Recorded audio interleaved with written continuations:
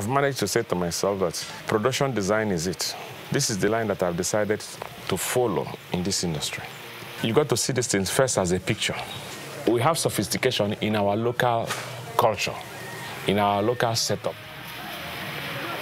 In Africa, there's a vacuum for creative designers. Pat I describe as a set designer, set builder, extraordinary. I believe that design is like a tailor-made cloth. Everybody should tailor his design to suit the particular person that you are doing it for. Oh yeah, close it, man. Close it.